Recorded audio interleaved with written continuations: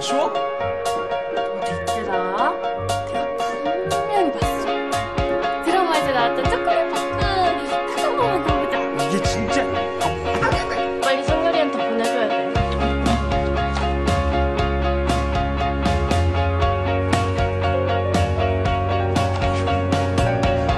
주세요 해봐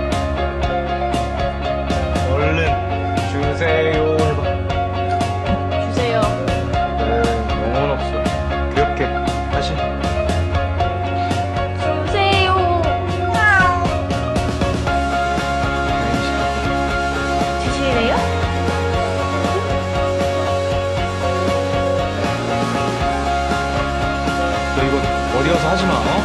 알았어? 왜 화를 내?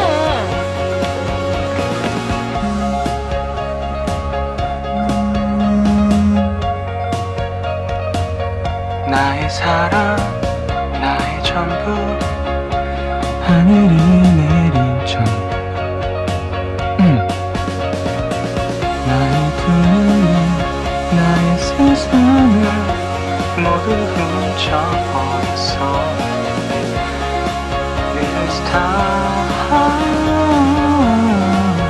tonight 밤새 내가 잘 자라 나도 내가 이럴 줄은 몰랐어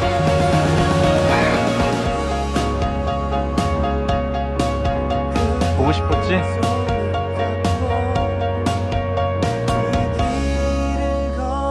내가 더 보고 싶었다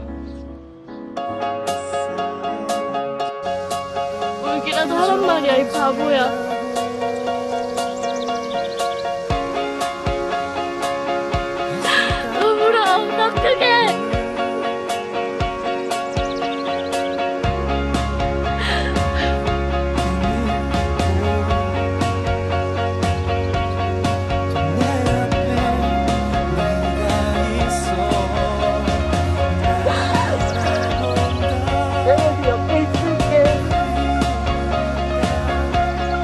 someday.